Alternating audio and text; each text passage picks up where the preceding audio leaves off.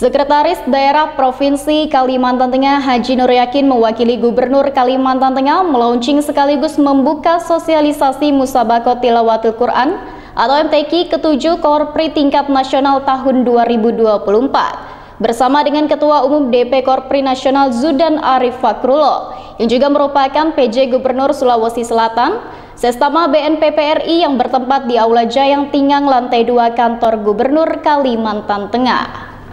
Sekretaris Daerah Provinsi Kalimantan Tengah Nur Yakin bersama Ketua Umum Dewan Pengurus Korpri Nasional Zudan Arif Pasrullah melaunching Musabakah Tilawatil Quran MTQ 7 Korpri tingkat nasional tahun 2024 bertempat di Aula Jayang Tingang, Kantor Gubernur Kalimantan Tengah, Selasa 6 Agustus 2024. MTQ 7 Korpri tingkat nasional tahun 2024 akan diselenggarakan di Provinsi Kalimantan Tengah pada tanggal 2 hingga 10 November tahun 2024 di mana akan memperlombakan 9 cabang yang terdiri dari 30 golongan.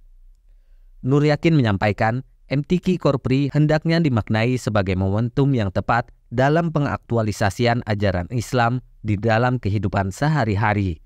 Ia mengatakan, Musabakah Tilawatil Quran MTQ Korpri mempunyai nilai strategis dalam rangka pembangunan sumber daya manusia unggul dan meningkatkan kinerja aparatur sipil negara melalui pendekatan diri dengan Al-Quran. Tentunya suatu kebanggaan dan kehormatan bagi Kalimantan Tengah mendapat kepercayaan untuk menjadi tuan rumah pelaksanaan MTQ ke-7 Korpri Nasional tahun 2024. Besar harapan kami dengan penyelenggaraan MTQ ke-7 ini nantinya dapat menjadikan momentum yang sangat baik untuk lebih memperkenalkan Provinsi Kalimantan Tengah dengan berbagai pesona wisata yang dimiliki. Sementara itu, Ketua Umum Dewan Pengurus Korpri Nasional Zudan Arif Pakrullah menyampaikan launching dan sosialisasi MTQ 7 Korpri tingkat nasional tahun 2024 ini merupakan tahapan penting untuk menggairahkan MTQ Korpri.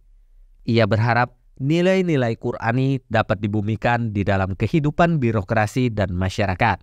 MTQ yang ketujuh ini memecahkan rekor karena jumlah yang dilombakan terbanyak. 9 cabang dengan 30 golongan dan 180 pemenang. Ini ini jumlah yang paling besar sepanjang penyelenggaraan MTQ. Ibu Bapak semuanya, mari kita meriahkan, kita korprikan Kalimantan Tengah, kita penuhi Kalimantan Tengah dengan baju korpri dan orangnya.